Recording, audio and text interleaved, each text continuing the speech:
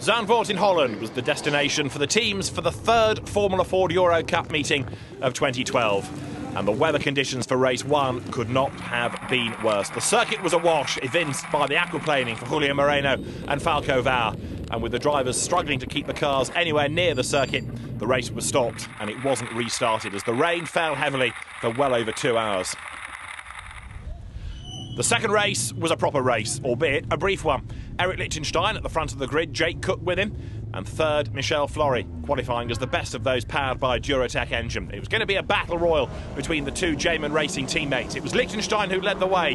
Cook slotted in behind him as Julio Moreno riddled his way through the Duratec contingent.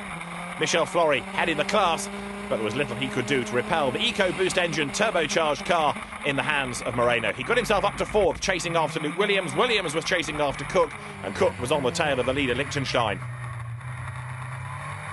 Cook lost ground ever so slightly coming out of the Tarzan hairpin, but then Moreno inherited third coming out of the last corner as ahead of him Luke Williams had a huge accident. He ran wide, hit the tyre barrier, that launched the car into a terrifying roll and spat wheels and tyres over the fence and into the paddock.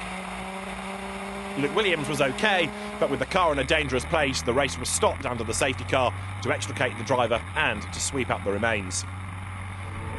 It was a truncated race, therefore, won by Lichtenstein. Jake Cook was classified second and Moreno third. Bas Schouten fourth to win the Duratec class ahead of Max van Splunteren, and Falco Vau rounded out the top six.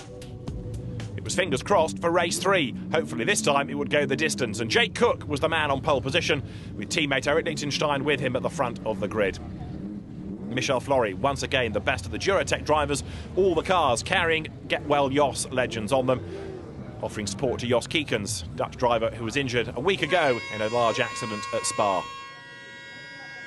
With the grid formed, there were one or two gaps after the earlier dramas, especially Luke Williams, whose car couldn't be repaired in time. But as the lights went out, the best start of all was made, not by Cook, but by Lichtenstein. He had the inside line on the run down to the Tarzan hairpin, and even from the one by one staggered grid was able to break latest and came through on the inside line to take the race lead. Julio Moreno, having qualified badly for all three races, was soon in his stride, working his way through the Duratec contingent. Michel Flory led the way ahead of Bart Vanoss with Falco Vau also trying to join in the mix. Vau ran wide coming out of the Arie Luyendyk corner. Bounced over the grass, off the tyre wall, off the Armco, but amazingly stayed in the race and the car survived without any damage at all. Up front, Lichtenstein led the way, Cook right with him as the two ran nose to tail. Cook getting ever stronger and ever more committed to the race lead, Lichtenstein having to defend ever more strenuously.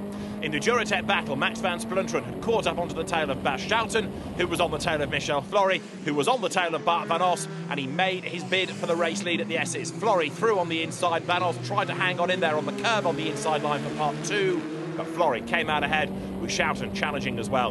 Van Splunteren was soon up to third place round the outside of Vanoss going to the hairpin. Vanoss braked late, but too late lost the back of the car under braking for the corner. Round it went, launched himself over the curb and across the road into the gravel bed and into retirement. That was Vanoss out of the race, and significantly, these were Dutch championship rounds. So the erstwhile championship leader is doing himself a power of no good in his championship quest. Another driver to retire from the race with damage, Sander Mortensen. He'd had a big moment coming through the Gerlachbocht, going off into the tyre barrier and ripping two corners off the car and bodywork damage as well.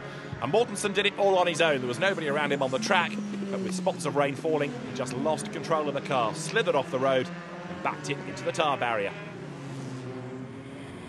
Mortensen was out as Lichtenstein led from Cook Jake was getting ever closer to taking the race lead. Lichtenstein under real pressure as they headed down towards the right-hander of the Mastersbocht and then towards turn 8. And it was here that Cook tried to make a move on the inside. He braked as late as he dared. There was just room for him. He scrabbled by, delayed both himself and Lichtenstein. but Cook came out of the corner just ahead. Lichtenstein fought back on the run down towards the S's and put himself right onto the tail of Cook, looking for a way through. He had the outside line heading into the S's that became the inside line for the second element of the corner, and Lichtenstein powered his way down towards the Kumho right-hander, back in the lead of the race. But Cook hadn't given up yet. The two of them continued to circulate nose to tail, with the road getting ever more greasy. Down towards the Tarzan hairpin, Cook challenged on the inside, but Lichtenstein outbraked himself. He ran deep into the corner, had to get off the brake and control the car, but in so doing left the door wide open, and Cook went through into the lead. Having done so, he had to put a lap on Frank Mortensen as the cars headed down towards the Hugenholtz left-hander. But Cook led the way, despite the car getting really sideways out of the last corner as the road was now wet. Checkered flag at the ready. It was a win for Jake Cook, who came storming across the line to win for the first time in the Euro Cup.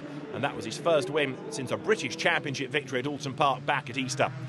Out of the race on the last lap, though, Max van Splunteren, who spun off into the gravel at the S's, and this was how he did it. He braked as late as he dared going into the corner, back of the car, came round on him, he slithered off the road dropped him into the gravel bed. Van Splunteren going no further, but on the distance covered, he was classified ninth in the race. The race won by a delighted Jake Cook. Van Splunteren, in contrast, having beaten all hell out of the steering wheel, hopped out of the car and legged it away. A very frustrated man. So Jake Cook, the winner by a tenth of a second from Eric Lichtenstein. Julio Moreno third, with Michel Flory being the best of the Dutch Championship Duratec drivers home fourth, Bas Schouten fifth, and Nikolai Silvest in sixth.